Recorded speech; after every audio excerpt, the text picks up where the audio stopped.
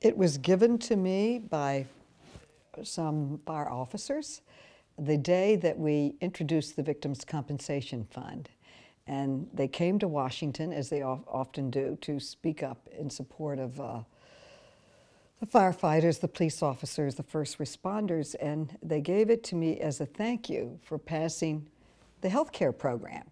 And now we're going to the Victims' Compensation Fund. And at the press conference, I, I, I, they gave it to me, and I was wearing it, and I said, hey, I'm going to wear this until I pass the bill. They walk into these fires with at least 50 pounds on them, 50 pounds of equipment.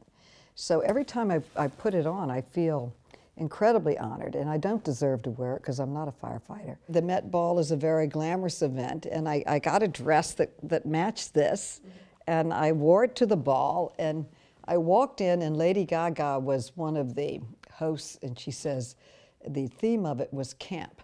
And she says, You outcamped me. You outcamped everybody. I said, No one outcamps Lady Gaga. So it gives you a chance to explain the program and to explain the need for it and to build public support. This design is worn by more New Yorkers than any other designer in New York, I'm absolutely sure. And, uh, and I, I, consider it fashion with a purpose uh, because the purpose was to pass the 9 11 Victims Compensation Fund and to give really heroes and heroines, whether they were construction workers or volunteers or survivors from the buildings nearby that became sick because of this.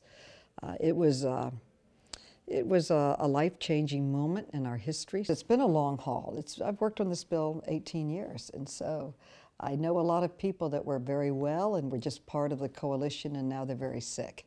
So you've seen that trans transformation in people that's very uh, hurtful. And, and it's always very painful to hear the stories of what they're confronting in their lives now.